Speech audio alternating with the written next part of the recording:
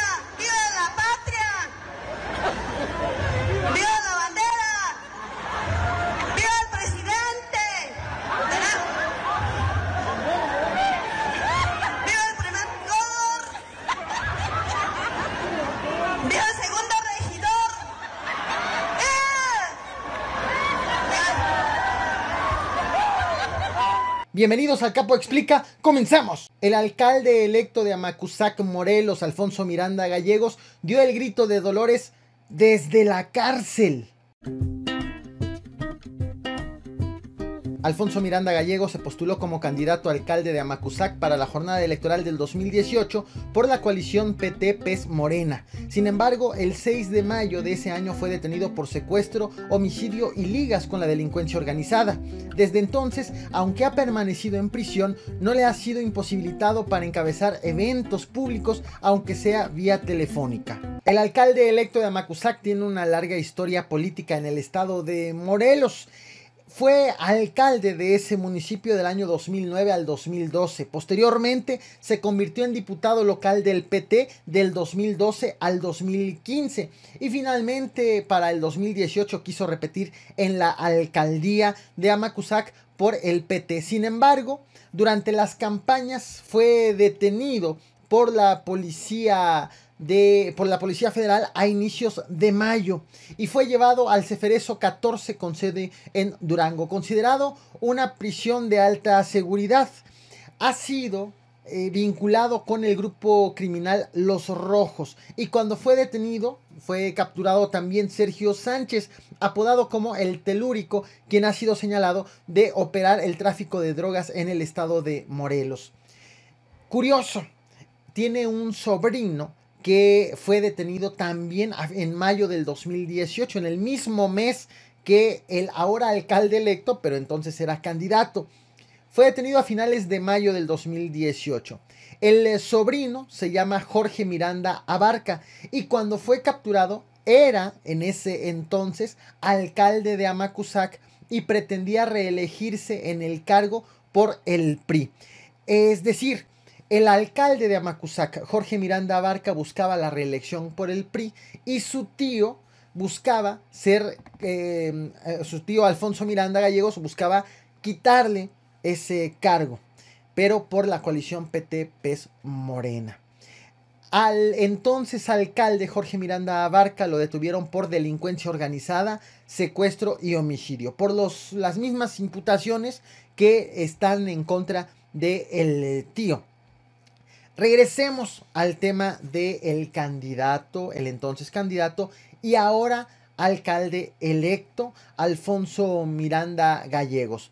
Él ganó la elección en el 2018 mientras estaba en prisión con el 57.3% de las preferencias electorales.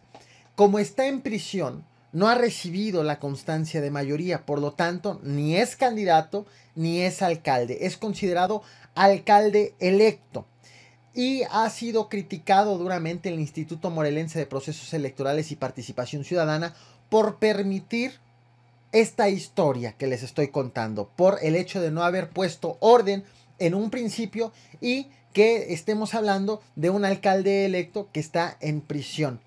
Le han criticado que desde un inicio, cuando fue detenido, no obligó, no ordenó la, la, sustitución del entonces candidato para que el PT postule a otra persona.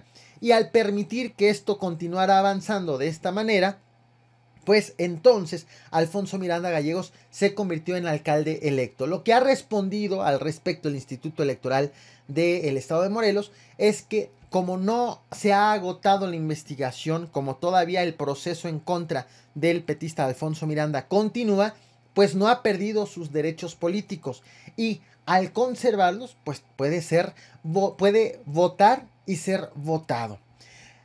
En este contexto y en esta detención, el eh, eh, Alfonso Miranda ha hecho una petición al presidente Andrés Manuel López Obrador a través de manifestaciones de petistas que piden que sea liberado y también de manera de cabildeo buscando a Nestora Salgado, la senadora que se encargó de iniciar los procesos de amnistía y buscando a la secretaria de Gobernación Olga Sánchez Cordero, pues han pedido al presidente Andrés Manuel López Obrador que intervenga en este caso. Acusan que se trata de una venganza política en contra del ahora alcalde electo.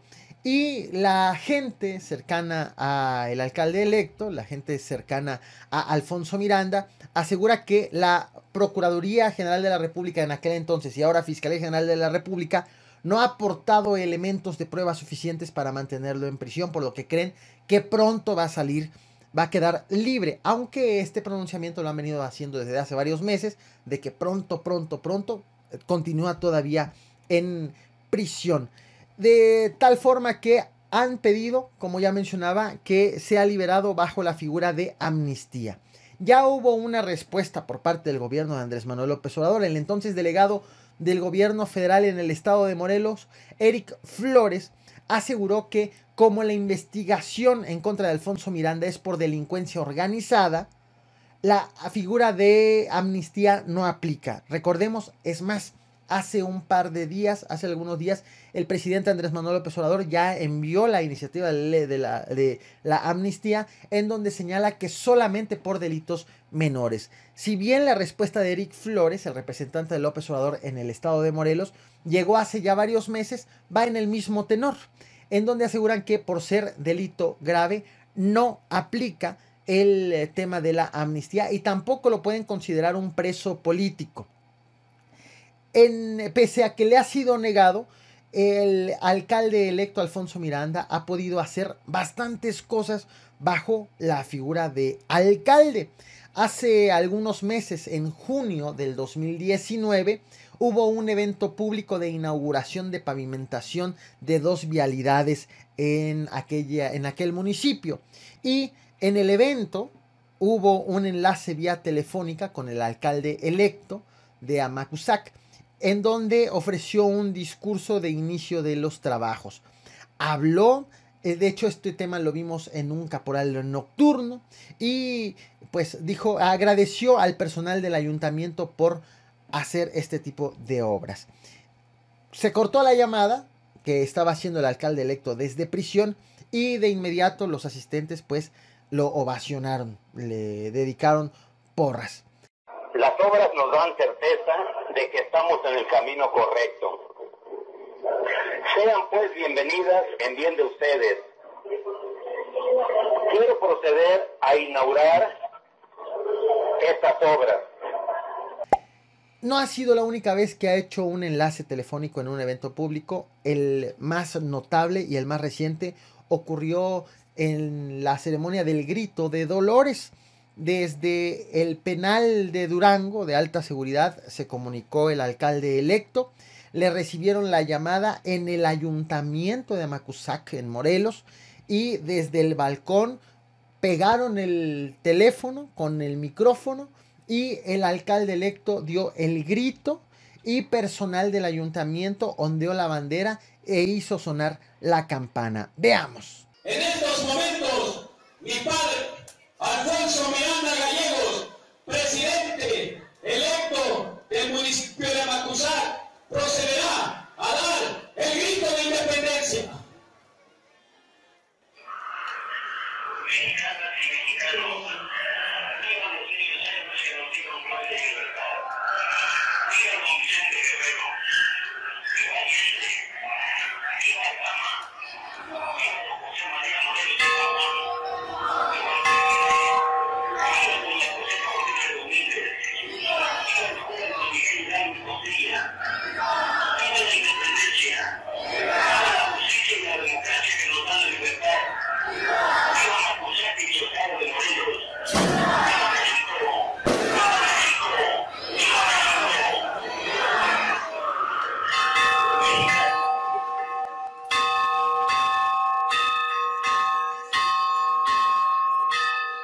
Como reflexión final, vaya cosa la que tenemos actualmente. Y vaya chiste, esto no pudiera ser posible de no ser por eh, el actuar de autoridades de manera irregular o por vacíos en las leyes que tenemos actualmente. Ya sea que las autoridades encarcelaron a un inocente o que se está permitiendo que un homicida y un secuestrador haga llamadas desde la cárcel, cualquiera de los dos panoramas, de las dos, eh, de lo que resulte ser verdad, de acuerdo con las investigaciones que están en curso y con el juicio que está en curso, pues resulta increíble tener situaciones como las que acabamos de ver. Increíbles y lamentables. Ya veremos en qué acaba toda esta historia. Hay muchas preguntas en torno como el cómo es posible que alguien haga llamadas telefónicas para este tipo de cosas. O por ejemplo, si bien tenemos o en Amacuzac hay un gobierno municipal con alguien en, de manera provisional y que consideran que el titular de la presidencia es quien está en prisión, recordemos que es alcalde electo y al no recibir la constancia de mayoría, pues de todas maneras le están guardando su lugar una de esas historias que tenemos en México que resultan difícil de creer y que demuestran que en la realidad en muchas ocasiones rebasa la ficción. ¿Qué opinas sobre este tema? Bueno, no olvides dejar tu opinión en la caja de comentarios. Muchas gracias por reventar el botón de like. Gracias por ver este video hasta el final para quienes ven el Caporal a Cucharadas y quienes están viendo el Capo Explica. Vamos con el siguiente tema.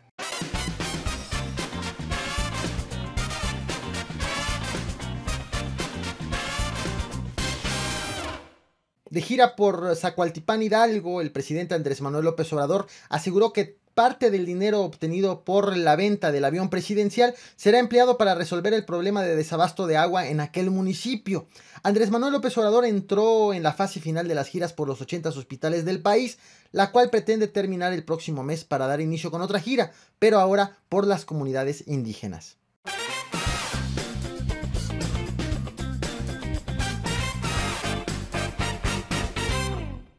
Aunque ya pasaron las fiestas patrias, el gobernador de Veracruz, Cuitláhuac García, sigue dándole grito por diversas circunstancias, por fallas en la ceremonia, por irregularidades en la celebridad y por ataques de la oposición. Tras ganar la batalla contra Jorge Winkler y lograr su destitución temporal como fiscal general de Veracruz, el gobernador Cuitláhuac García volvió a estar en el ojo del huracán.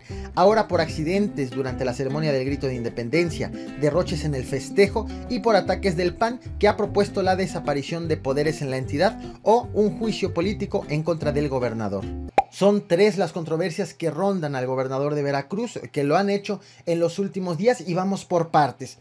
La primera controversia, el costo de la celebración del grito de independencia. Fue calculado con 15 en 15 millones de pesos, de acuerdo con el programa de egresos para la independencia y desfile militar que fue filtrado a las redes sociales. Un documento que aunque filtrado ha sido reconocido como oficial y que tiene datos reales. En este documento vimos que en la ceremonia del grito que se hizo en la capital veracruzana, en Jalapa, estaban considerando un gasto total de 15 millones, de los cuales queda desglosado de la siguiente manera. Para la banda La Adictiva, que iba a cerrar la ceremonia, un pago de 6.6 millones de pesos. El gobernador Cuitlagua García reconoció en entrevista que incluso el costo de llevar a esta banda podría, podría elevarse. Justificó que fue tan alto porque en condiciones normales cobra 2 millones de pesos, pero que le estaban pagando más de 6 millones, pues porque no querían que la adictiva se fuera a tocar a otros estados eh, recibiendo una mejor oferta y por eso es que Veracruz decidió ponerle la mejor oferta para que se quede en aquella entidad. También en el documento se reveló que la limpieza y el resane del Palacio de Gobierno estuvo evaluado en 1.2 millones de pesos. La iluminación externa de la fachada en 1.3 millones de pesos. El pulido de, la de las escalinatas y los barandales en medio millón de pesos. La colocación de 74 toldos de Palacio de Gobierno en color vino fue evaluado en 358 mil pesos. La elaboración de bocadillos y bebidas para los invitados al Palacio de Gobierno durante la ceremonia, 358 mil pesos. Repito, con base en un documento oficial filtrado a las redes sociales. ¿Cuál fue la reacción del gobernador tras las críticas que recibió, incluso posterior a que reconoció que le dieron una oferta jugosa a la banda La Adictiva? Dijo que bueno, pues dada la presión de la opinión pública, entonces lo que decidió fue cancelar la cena de gala que tenía programada para el Palacio de Gobierno. De tal forma que pues pretendía ahorrarse ahí un dinero, aunque dijo que la banda de la adictiva seguía en el, en el programa y bajo el mismo costo, tal cual como finalmente terminó ocurriendo. Y eh, posteriormente removió de su cargo a la Contralora General del Estado, a Leslie Mónica Garibo Puga. Ella era la encargada, ella era la responsable del gasto para las fiestas patrias. Y recientemente también había informado que estaba investigando la existencia de 200 aviadores en la Comisión de Agua, en eh, Seguridad Pública, en Educación y en Salud. La removieron a ella que se encarga precisamente de destinar, de repartir los recursos, de elaborar el documento que fue filtrado a las redes sociales. Y en su lugar llegó Mercedes Antoyo Domínguez, quien era directora general de fiscalización de la Contraloría. Esa fue una de las polémicas y de esa manera es como pretendió el gobernador salir, eh, librar los eh, señalamientos de la opinión pública. Posteriormente, durante la ceremonia del grito, se lanzan los fuegos artificiales y la pirotecnia, entre la pirotecnia y los empujones provocados por la pirotecnia. Eh, bueno, la pirotecnia, eh, hubo parte de la pirotecnia que salió directo en contra de los asistentes y resultaron lesionadas 12 personas de acuerdo con el balance que ofreció Protección Civil. 10 de estas personas fueron atendidas en el lugar, dos fueron, eh, fue necesario que se lleven al hospital y de acuerdo con testigos, la mayoría de los lesionados eran menor de edad. Em, y muchos por los empujones derivado de este hecho. Veamos lo que ocurrió en aquella ocasión.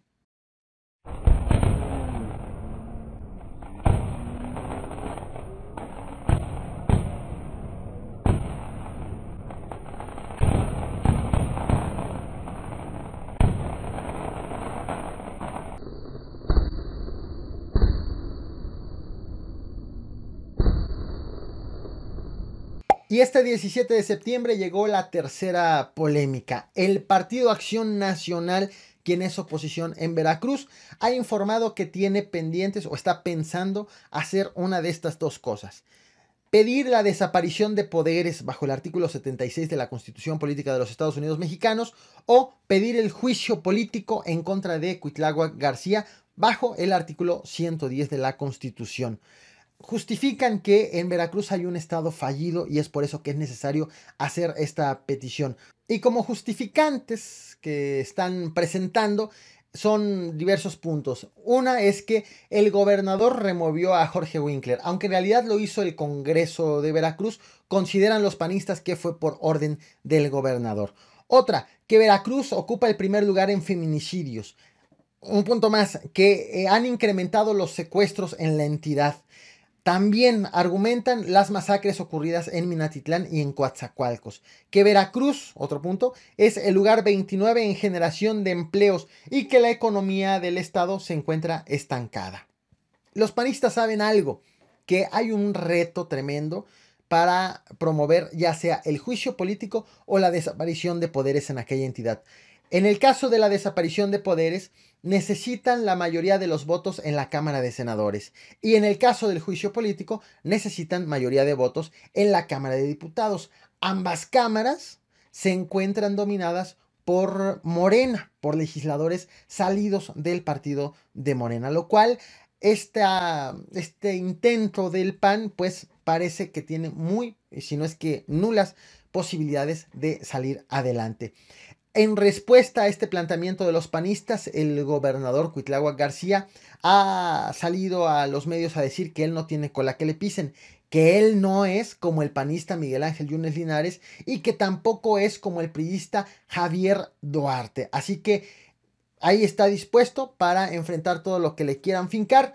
Asegura que no va a solicitar ningún tipo de amparo y de pilón dijo que tras la destitución de Jorge Winkler hace apenas una semana, ya los homicidios bajaron en el estado de Veracruz. Aunque, bueno, en esto no ofreció cifras y parecía más el querer em, reiterar la convicción de que los problemas en Veracruz tienen un nombre y apellido. Jorge Winkler aunque detrás está Miguel Ángel Yunes Linares de acuerdo con la versión del gobernador.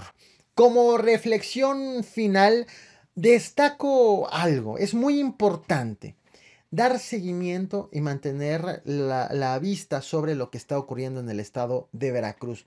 Hay muchos problemas, lamentablemente, hay muchas irregularidades desde diversas instancias y hay mucho golpeteo político.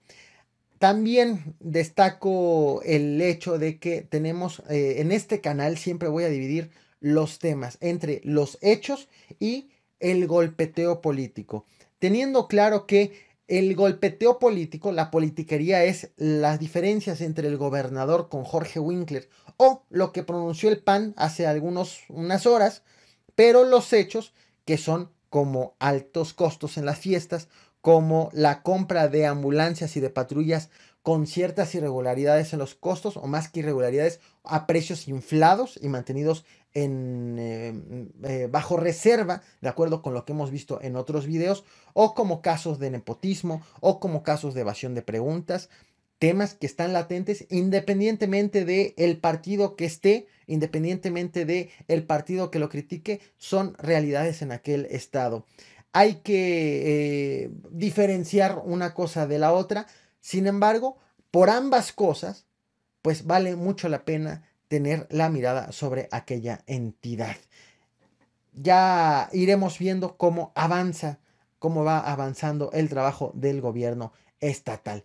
¿Qué opinas al respecto? Bueno, no olvides dejar tu opinión en la caja de comentarios. Muchas gracias por reventar el botón de like, gracias por ver este video hasta el final, tanto para quienes ven el caporal a cucharadas y quienes están viendo el capo explica. Vamos con el tercer y último tema.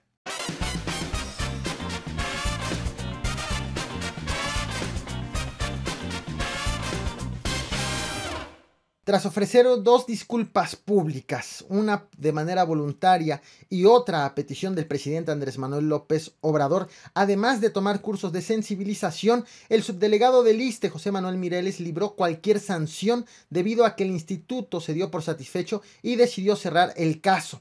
El eh, director del ISTE, Luis Ramírez, confió en que el subdelegado se comportará de manera distinta a cuando se refirió a mujeres como Nalguita y Pirujas, presuntamente citando a personas que había escuchado.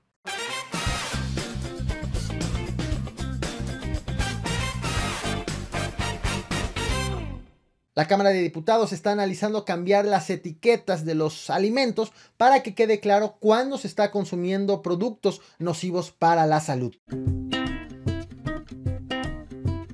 De acuerdo con la Dirección General del Instituto Nacional de Seguridad Pública, en México el 74% de los adultos y un tercio de los niños y adolescentes tiene sobrepeso u obesidad, cuya atención médica genera una pérdida del 2.2% del Producto Interno Bruto. Para disminuir los padecimientos y en consecuencia los gastos, a la Cámara de Diputados llegó una iniciativa para cambiar las etiquetas y proponer el uso de unas como las empleadas en Chile, en donde se advierte cuando un alimento es dañino para la salud. El 24 de julio fue aprobado en la Comisión de Salud de la Cámara de Diputados modificaciones a la Ley General de Salud, que impone advertencias en la parte frontal de las etiquetas para situaciones como cuando eh, un alimento tiene alto contenido de azúcar, sodio, grasas saturadas y calorías. Como ya fue aprobado en comisiones, ahora debe de pasar al Pleno para su votación. Si se aprueba en el Pleno, es decir, por todos los diputados, entonces irá esta iniciativa a la Comisión de Salud en la Cámara de Senadores. Pero el Poder Ejecutivo también tiene otra propuesta que la está preparando, aunque todavía no la presenta y no la conocemos. Pero ahí están las dos actualmente, que, o, una ya en curso y otra por ser presentada. Como era de esperarse, hay resistencias a este nuevo etiquetado y como era de esperarse también, estas resistencias vienen precisamente de los afectados, de la gente que vende, que distribuye, que comercializa estos productos. Ahí va un ejemplo. el Consejo Mexicano de la Industria de Productos de Consumo asegura que no se oponen a este etiquetado, simplemente consideran que se necesitan más elementos o que debe de quedar más eh, especificado cuando un alimento es dañino para la salud. Y han puesto como ejemplo que si se comparan dos productos que son dañinos y que los dos tienen la misma etiqueta que dice alto contenido de azúcar, por decir un ejemplo, el consumidor no sabe cuál es más dañino que el otro y considera que son iguales de dañinos cuando puede haber uno potencialmente más dañino. Y consideran que el, el etiquetado actual sí permite comparar uno de otro, en donde dice tantos gramos de X contenido contra tantos gramos de la misma sustancia de tal forma que aunque ambos sean dañinos, el consumidor sabe cuál es más dañino que otro. Prácticamente están en favor de que las cosas se queden como están actualmente. Otro punto de vista es el de la Asociación Nacional de Tiendas de Autoservicio y Departamentales, estas que eh, aglutinan a las tiendas grandes de autoservicio y que señala que eh, tantas etiquetas, y sobre todo si son negras con letras blancas como las chilenas, pues van a provocar miedo en el consumidor y van a hacer que desaparezcan las marcas. Eso es lo que están argumentando, por lo que pide que se mejore el diseño de las etiquetas. Hay especialistas en temas de nutrición, en temas de salud, que también han manifestado ciertas diferencias con lo que se está proponiendo en la Cámara de Diputados. De entrada, dicen que una etiqueta no va a resolver el problema de fondo. Hace falta en los mexicanos educación nutricional, hace falta que hagamos ejercicio los mexicanos y hace falta em, eh, concientizar y crear hábitos saludables. Aunque, bueno, una cosa no excluye a la otra. Es decir, las etiquetas son una, un paso de un todo lo que hay que hacer para mantener una vida saludable. Esta iniciativa que se está revisando en la Cámara de Diputados sigue un modelo chileno. En el caso mexicano ha sido, evaluada, eh, ha sido avalada esta iniciativa por 26 instituciones y universidades del país. Y el modelo chileno, según la Dirección General del Instituto Nacional de Salud Pública en México, ha arrojado ya algunos datos que permiten conocer pues la evaluación final de cómo les ha ido. Dicen que el modelo chileno les ha dado buenos resultados, que la población ya redujo el consumo de los productos dañinos, que la industria ha tenido que innovar en sus productos para quitarle los, los distintivos de que son dañinos, pues tienen que emplear otros ingredientes que sean menos nocivos. Y sí lo han logrado. Descartaron afectaciones en la economía y pérdida de empleos por agregar estos distintivos.